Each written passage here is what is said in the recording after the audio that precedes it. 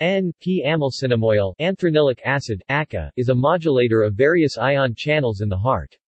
N-P-amylcinnamoyl anthranilic acid is an effective reversible inhibitor of calcium-activated chloride channels and, to a lesser extent, cAMP-activated chloride channels, without affecting L-type calcium channels. Calcium-activated chloride channels are believed to be involved in developing arrhythmia. Arrhythmia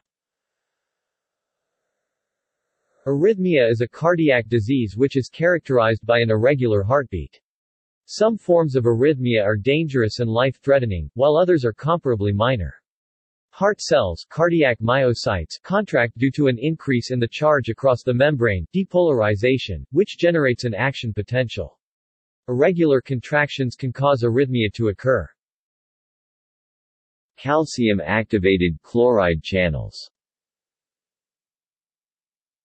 the calcium-activated chloride channel is present in cardiac myocytes of many species, such as rabbit and pig, but their presence in human cardiac myocytes is under debate.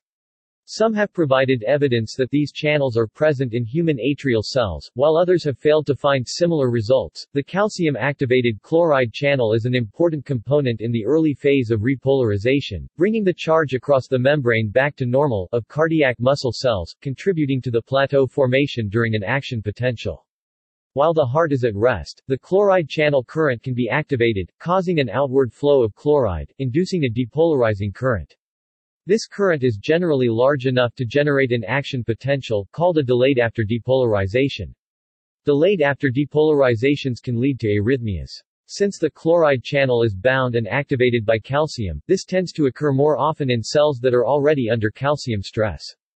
The calcium-activated chloride current is also doubled when stimulated by the sympathetic nervous system, likely due to an increase in calcium release, although the channel could potentially be under a direct control by the sympathetic nervous system. Treatment of arrhythmia Due to the ability of the calcium-activated chloride channel to generate arrhythmias, blockage of the channel may result in antiarrhythmogenic action.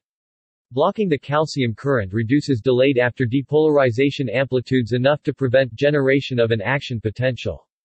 ACA has been shown to inhibit the calcium-activated chloride current, but this effect is reversible upon removal of the drug.